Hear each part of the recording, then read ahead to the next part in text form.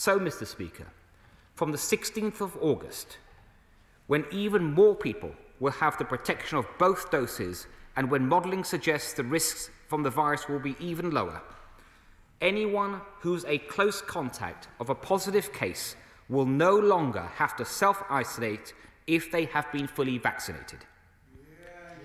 If someone gets their dose, their second dose, just before or just after the 16th of August, they'll need to wait two weeks after which their second jab can take effect and give them these new freedoms. So, this will allow the vaccine time to build up the maximum possible protection, those two weeks.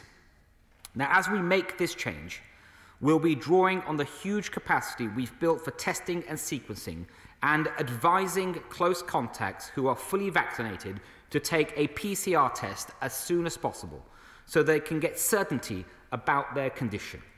And of course, anyone that tests positive will have to self isolate whether they have had the jab or not.